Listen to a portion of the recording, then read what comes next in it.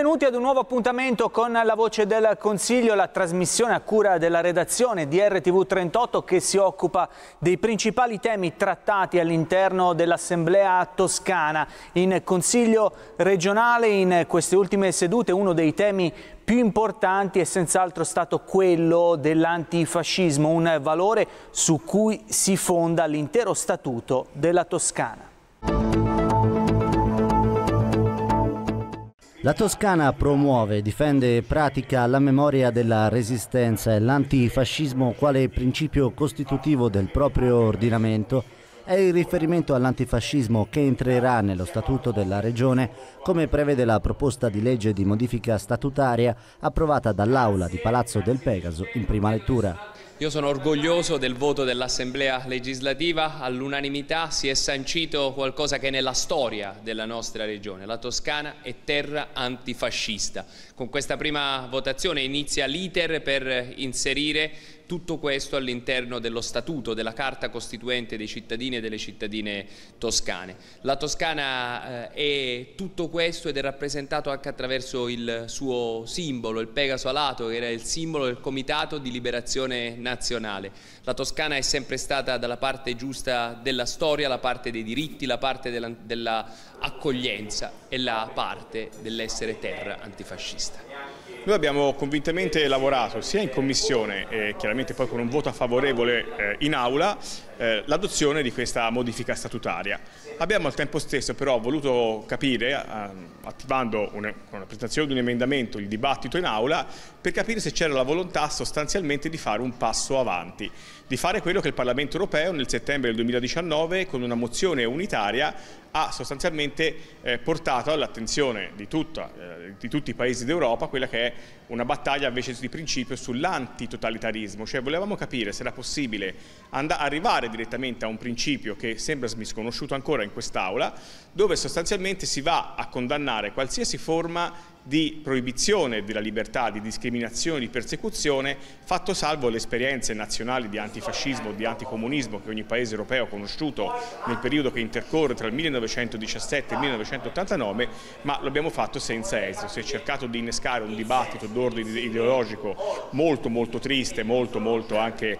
parcellizzato con riferimenti e contesti che appartengono sostanzialmente a tutti come a tutti appartiene la radice eh, antifascista su cui si basa la nostra Repubblica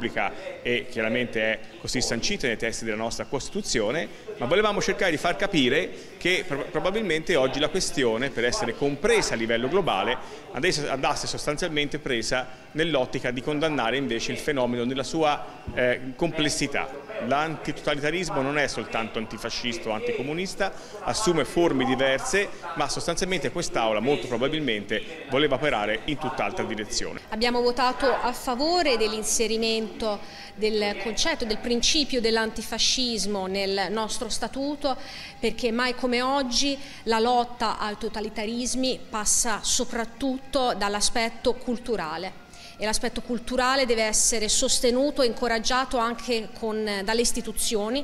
questo è sicuramente un modo eh, positivo di farlo, di proporlo, anche perché eh, l'Italia deve per certi versi fare ancora i conti con la propria storia che ormai si può dire non è più recente. Quel ventennio ha segnato la nostra cultura, ha segnato la nostra storia ed è importante fare memoria di quel tratto della nostra esistenza proprio per far sì che quel tipo di esperienza non si debba ripetere più e per sottolineare che qualunque rigurgito di fascismo, nazismo che ancora purtroppo emerge in questa società deve essere con forza ricacciato indietro. I valori dell'antifascismo, i valori della resistenza sono dei valori fondamentali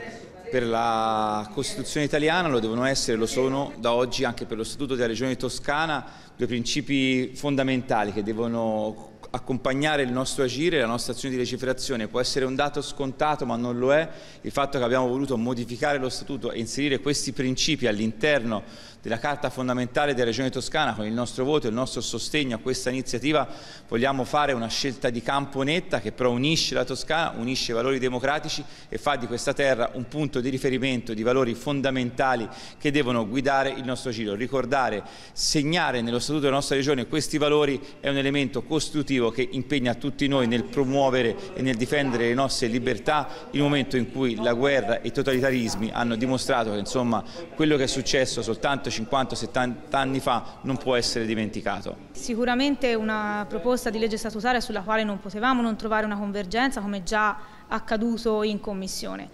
Questo però eh, non ci esime dal diciamo, fare un piccolo rilievo rispetto alla discussione in aula, eh, una discussione che a tratti può sembrare quasi anacronistico affrontarla nel 2022 di fronte a una emergenza economico-sociale che tutti quanti ben sappiamo. Però quando si parla di valori condivisi, di una piattaforma di principi che come dire, devono essere patrimonio di tutti quanti i toscani, io credo che come dire, il dibattito debba svolgersi nel modo più completo possibile. Di fronte a degli emendamenti presentati anche dall'opposizione che in qualche modo avrebbero arricchito sicuramente anche il testo, Avevamo chiesto il ritiro della PDL statutaria per un approfondimento ulteriore in Commissione, perché ripeto, eh, laddove si vada a toccare la nostra Carta fondamentale, credo che si debba trovare la maggior convergenza possibile. Non ci siamo riusciti, però certamente ecco, oggi nel 2022 eh, credo che su certi valori fondanti della nostra democrazia certamente non ci possa essere nessun tipo né di dubbio né di contrapposizione ideologica, anche perché, un'ultima notazione, troppo spesso la contrapposizione ideologica dei buoni contro i cattivi ha condizionato fortemente, fin troppo, anche la vita politica, in qualche maniera, eh, come dire, anche eh, sdoganando un po' eh, certi, eh, dire, certi pregiudizi rispetto aree politiche che oggi dire, si propongono invece come legittimamente interlocutori nell'ambito del panorama democratico della nostra nazione. Dibattito in Consiglio regionale nell'aula di Palazzo del Pegaso anche per quanto riguarda l'attività sportiva e l'incentivare proprio l'attività fisica in tutto il territorio regionale. A questo proposito è stato dato l'ok ad un provvedimento legislativo. Il Consiglio regionale della Toscana ha approvato all'unanimità le nuove disposizioni per la promozione dell'attività fisica il provvedimento punta a rendere ancora più incisiva la promozione dello sport mediante la predisposizione di progetti specifici indirizzati a tutte le fasce di età e ai diversi ambiti di riferimento da realizzarsi attraverso la revisione periodica dei protocolli di esercizio per l'attività fisica adattata oggi esistenti o attraverso nuovi programmi di esercizio strutturato. È una legge che pone l'accento sulla promozione dell'attività fisica eh, e eh, sulla prevenzione come attraverso l'estensione di un modello che, che nella nostra regione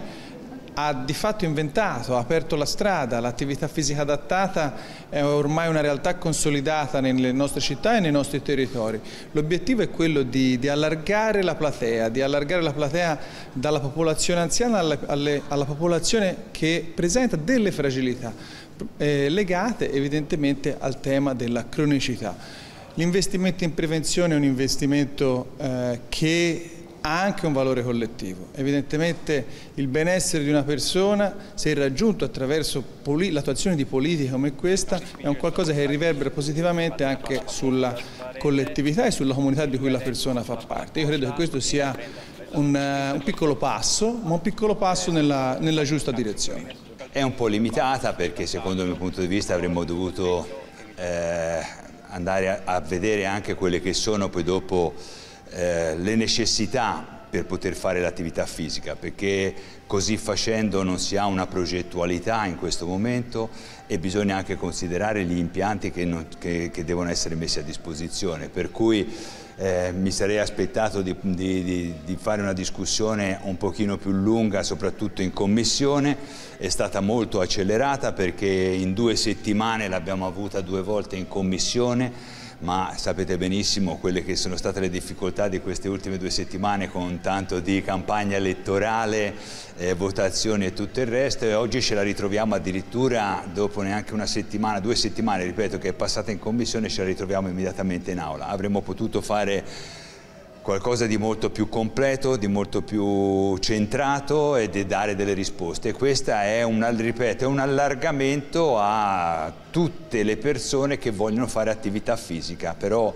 non si parla né, ripeto, né di impianti, non si parla di progetti. Noi abbiamo votato favorevolmente a questa proposta di legge eh, che ha avuto un iter molto veloce in commissione proprio perché c'è stata unanimità fin dall'inizio della discussione. E riteniamo che lo sport possa essere sicuramente anche inteso in termini di migliorare lo stato di salute delle persone, debba essere inteso anche appunto in questo senso e possa tante volte essere una prevenzione fondamentale rispetto a una serie di eh, problematiche e criticità che se non eh, affrontate in tempo potrebbero anche diventare gravi.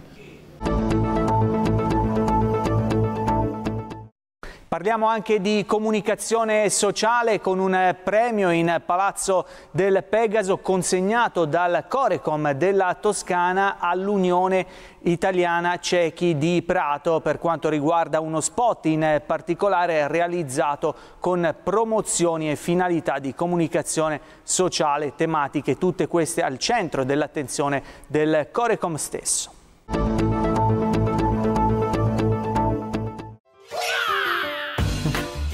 Uno spot di 40 secondi dell'Unione Italiana Cechi e Ipovedenti di Prato si è aggiudicato il premio La Toscana che fa bene, concorso bandito dal Corecom della Toscana in collaborazione con il CESBOT per premiare la migliore campagna di comunicazione sociale promossa nel 2021 in Toscana. Il premio, dal valore di 5.000 euro, ha lo scopo di valorizzare il lavoro che associazioni e privati svolgono per promuovere la comunicazione di alto contenuto sociale. Il Corecom eh, ha sempre avuto grande attenzione alla comunicazione sociale, ma non avevamo mai fatto nulla di particolarmente significativo che potesse valorizzare il lavoro che le associazioni, alcuni privati, enti pubblici eh, svolgono per promuovere comunicati di alto valore sociale. E allora abbiamo pensato di eh, istituire un premio con eh, anche una ricompensa in denaro di 5.000 euro all'associazione che naturalmente potesse vincere questo premio eh, e eh, lanciato questo concorso. Sono stati oltre 40 i video che sono, si sono eh, candidati alla selezione eh, e il parere della giuria, tutti tecnici, eh, hanno, è stato unanime per il premio all'Associazione dell'Unione Italiana Cechi di Prato. Il video è nato da una chiacchierata con eh, l'Unione di Prato, grazie a un amico eh, che si chiama Daniele Di Bella che è socio dell'Unione ma che è anche una persona con cui ho fatto tanti progetti in precedenza.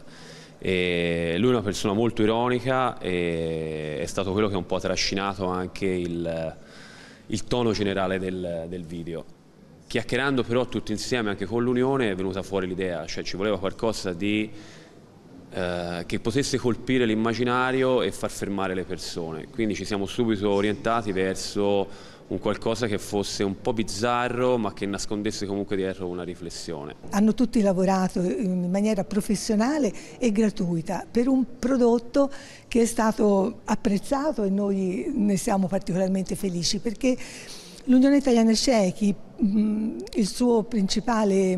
obiettivo è l'integrazione delle persone con disabilità visiva nella società, integrazione che passa dall'istruzione ehm, alla ricerca del lavoro, poi ecco, abbiamo tante iniziative anche ricreative, eh, distensive, facciamo poi pratiche eh, pensionistiche, varie attività per far sì che la persona mh, disabile visiva sia sempre più integrata e meno, meno mh, discriminata. Ecco. Per cui questo premio, ripeto, è per noi veramente motivo di grande gioia e soddisfazione. E con questo è davvero tutto, la nostra puntata della Voce del Consiglio termina qui, l'appuntamento ovviamente è per la prossima settimana con tanti altri argomenti da analizzare. Grazie per l'attenzione e buon proseguimento su RTV 38, arrivederci.